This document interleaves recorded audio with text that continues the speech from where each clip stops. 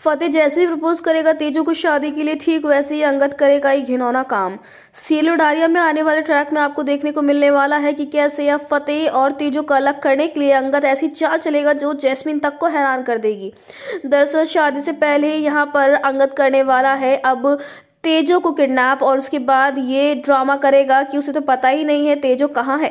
अब देखना इंटरेस्टिंग होने वाला है कि ये खेल कैसे पकड़ पाता है फतेह और किस तरीके से अपनी जान तेजो को बचाकर वापस मंडप पर ले आता है।